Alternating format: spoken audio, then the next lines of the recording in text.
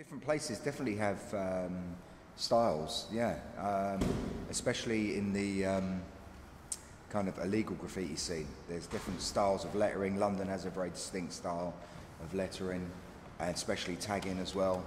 There's definitely distinct styles, um, but um, and there's different kind of feels to the to the scene as well. Obviously, you know, um, different kind of levels of respect, um, different levels of appreciation as well, where, where your review goes. So you know.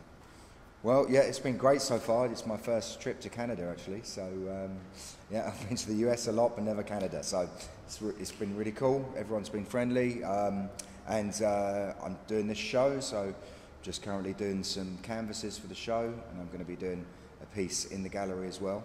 Um, and then I've got two murals to paint as well. So, I'm going to be pretty busy. One mural in the skate park, and then I'm doing one community mural. Um, so yeah, it's gonna be it's gonna be good.